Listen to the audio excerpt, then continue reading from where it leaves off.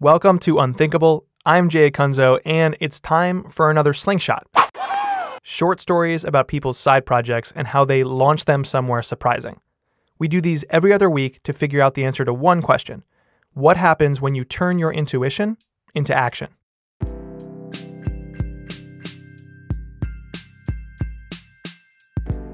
I don't know if you do this at all, but there are certain authors that I read certain books, and I'll stumble on a sentence and I'll just start to laugh. And I'm not laughing because it was a funny sentence. I'm laughing because I'm just, I'm awed at the craft that went into those like eight words. And I'm like, man, I wish I could do that.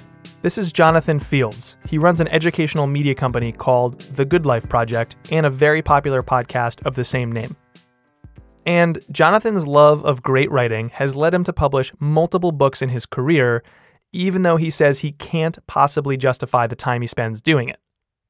As a result, he calls writing his irrational side calling. I look at all the different things, the activities that I could be doing to contribute to my living and also my ability to support myself. And I break down on, you know, like a dollars per hours basis how much this actually generates. It's really hard to justify the amount of time that it takes to write a book. Jonathan has published two books so far, and even though it'd be easy for you or me to look at his career and assume he's made it, he knows that it still takes a ton of preparation to write well. Nonfiction, for me, it's like that classic parable or the question. I think it was asked of Abe Lincoln. You know, if you had if you had eight hours to chop down a tree, what would you do? And he said, I would spend six hours sharpening the axe. For his third book, Jonathan's first idea was to write about why humans crave a sense of belonging. As I started to go deep into the, the research on it, there's a lot of academic research and it was all over the place. So he scrapped the idea, and thus the bizarre odyssey of Jonathan Fields' third book began. It all started when he went back to his publisher and he said, Look, that original idea I pitched you, I can't do it. But here's a bigger idea that I found along the way. I want to write about how to live a good life. I then wrote the entire manuscript and I thought we were all on the same page. I felt good about it. That probably took about another nine months. I handed it in to them and they came back to me and they said, uh, this isn't it. We got to do something else. Ugh, not what any author wants to hear. But it wasn't Jonathan's first rodeo, so he had a meeting, found a new direction, and wrote that entire manuscript. And then. This is where it actually got a bit more devastating because I turned in that manuscript and I felt pretty solid about it and they came back to me a couple weeks later. Actually, they, I think it was a little more than a couple weeks, which should have been a tell to me. And when they finally came back to me, they said, "This isn't it either, and we don't know what to tell you anymore."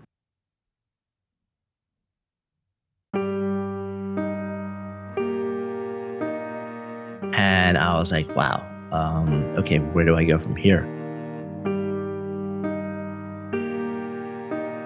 Jonathan approached his publisher, and he admitted hey, it's clear I don't actually understand the kinds of books that you like to publish in this genre, but I know I can figure this out. So just give me a few weeks, let me go do some research, and I'll come back to you. And so he went out and he purchased the top 10 personal development books currently available on the market. Read them, and it, and it became crystal clear to me that there was a pretty consistent pattern across all of them. So I reworked the table of contents for that pattern I showed it to them and I said, "Is this it?" And they were like, "Yes, yes, like that. That looks like it's finally it." And then I said to them, I said, "Well, that's cool." I said, "But I need to actually figure out whether I'm comfortable writing this book." Now, the idea of writing a formulaic book wasn't so appealing to Jonathan. Remember, this is a guy that loves that gut feel about writing, the way it makes you laugh when it's just impossibly good but he still committed to trying it. And he wrote four to five chapters and realized it made it actually so much easier for me to write. And I realized that I could still weave in a lot of the story and the science, which I really love to explore in a way that was just so much more accessible than I had normally written. And what I did to really keep driving through it too was I set as my new creative challenge um, to write a book. You know, so so every creative challenge or campaign needs a set of constraints.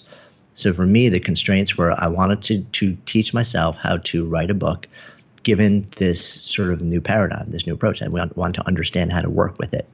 And that became my creative task. And um, so I went ahead and I wrote it and turned it in. And finally, after the third one, I felt really good about it and really strongly about it. So strong that if they they hadn't liked it at that point, um, there's a good chance I would have walked away from the deal. Um, but thankfully, they loved it, and I loved it, and um, and and we've been rocking and rolling since then. Being craft driven as a creator is just as much about the how as the why, because creativity is so much more than just gut feel. That's a big part of it, but it's also about studying the process that helps you go from intuition to action. And what I realized is if I really want to not just write, but also be of service, that that was a pretty powerful approach. Too often, we associate constraints and frameworks with the people or projects that aren't overly creative.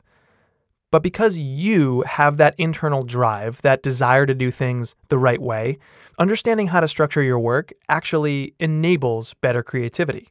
And at first, that fact surprised Jonathan. It shouldn't have been a surprise. It was a surprise that I was okay with it because I tend to also be a bit of a rebel.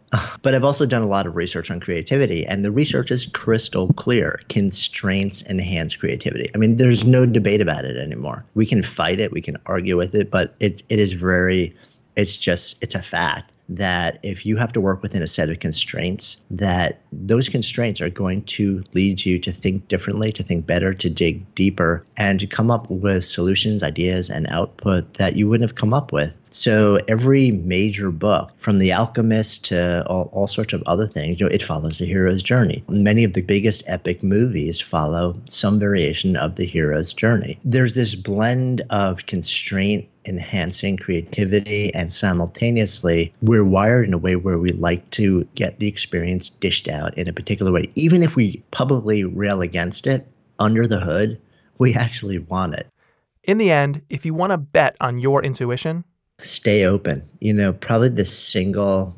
biggest enemy of uh, the creative process and any creator is to lose your beginner's mind and so I think part of our job as people who are creative in the world is to hold ourselves in a place uh, where we're open to the unknown for longer than we're comfortable with. Um, and to go into something, even if there's something in us that says, Yeah, I know this, I've got it dialed in, to go in and say, Okay, but I'm still a student. Like there is no person that I am incapable of learning from. And that tends to be a harder thing to do the further down the road you get. But I also think that if you can't do it, that is when your growth and your evolution tends to stall.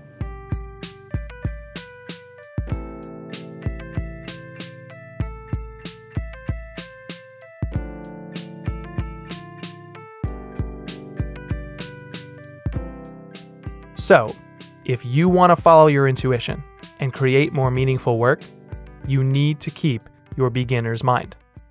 And if you do, you might just turn that next challenging moment into a project you love. Now that's unthinkable.